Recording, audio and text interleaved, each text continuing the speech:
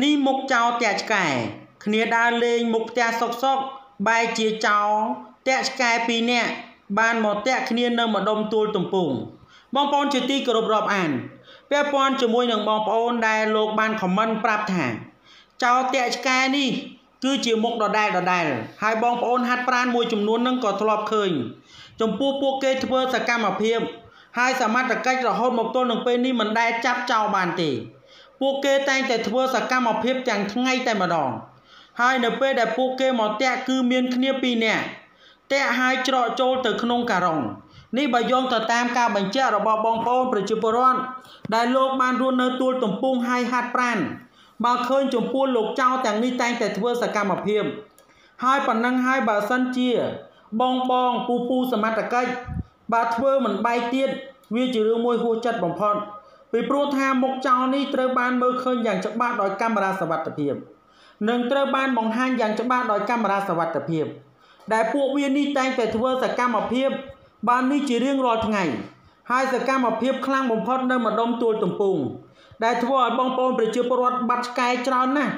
នៅម្ដុំទួលទំពង់នេះនេះបើយោងតាមរាយការណ៍បានបញ្ជាក់អំពីសំណាក់បងប្អូនប្រជាពលរដ្ឋដូច្នេះបងប្អូនប្រជាពលរដ្ឋណាខ្លះបាត់ឆ្កែ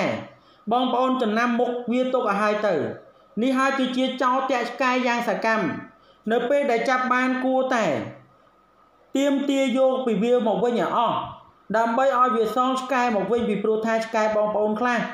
ទិញយកមកមានតម្លៃថ្លៃណាស់ដើម្បីចិញ្ចឹម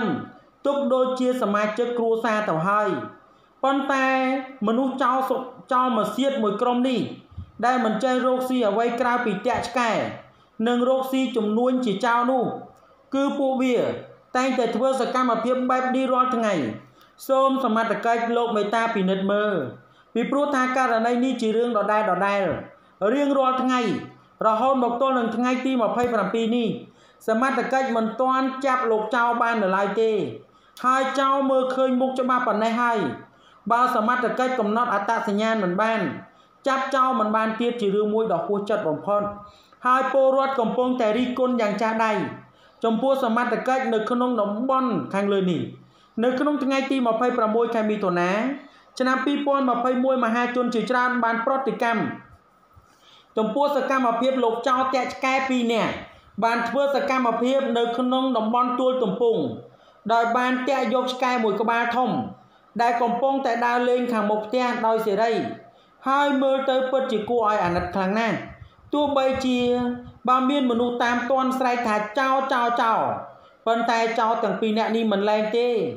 នឹងមិនខ្លាចទៅនឹងការធ្វើសកម្មភាពដ៏សកម្មរបស់ខ្លួននេះបើយោងទៅតាមការបញ្ជាក់របស់គណនី Facebook មួយនឹងភ្ជាប់មកសារមើលមុខចោលលួចតាក់ឆ្កែបាទដុសថ្មិញលើបងប្អូន ដែលវារោគស៊ីនៅម្ដុំទួលតំពុងញឹកញាប់ណាស់ហើយនៅម្ដុំទួលតំពុងនេះ បងប្អូនប្រជាពលរដ្ឋលោកបានបញ្ជាក់ហើយថា មានចោលតាក់ឆ្កែនេះតែប្រមាណអ្នកទេ ហើយមុខវាដដែលដដែលប៉ុន្តែមិនដែលឃើញសមត្ថកិច្ចណាមួយចាប់វាបានទេមិនដឹងថាមូលហេតុអ្វីបានជាសមត្ថកិច្ចចាប់លោកចោលតាក់ឆ្កែទាំងនេះមិនបាន ដោយសារតែបញ្ហានេះហើយ ដែលពលរដ្ឋសំដែងនឹងការហួចចិត្តនិងមិនពេញចិត្តយ៉ាងខ្លាំងភូមិឃុំពលរដ្ឋខំចិញ្ចឹមឆ្កែស្រឡាញ់ណាស់ ខ្លះស្រឡាញ់ទុកជាសមាជិកគ្រួសាររបស់គាត់ប៉ុន្តែអាជនខលខូចថោកទាបមួយចំនួន តែងតែប្រព្រឹត្តនៅទង្វើ ដែលសង្គមកំពុងតែឆ្អប់ខ្ពើមដូចជាករណីនេះអញ្ចឹងបើឃើញមុខនឹងភិនភាប៉ុណ្ណឹងហើយសមត្ថកិច្ចលោកចាប់មិនបានទៀតខ្ញុំមិនដឹងថានិយាយថាម៉េចឲ្យសមទេពីព្រោះថាបងប្អូនប្រជាពលរដ្ឋលោកខឹងសម្បានណាស់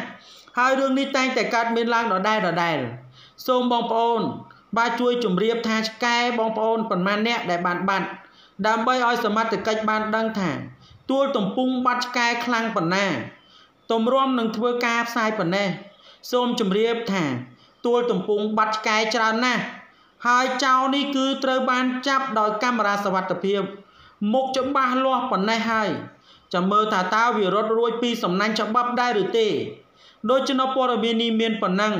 ដើម្បីទទួលបាននូវព័ត៌មានថ្មីៗបន្ថែមទៀតសូម Subscribe និង Like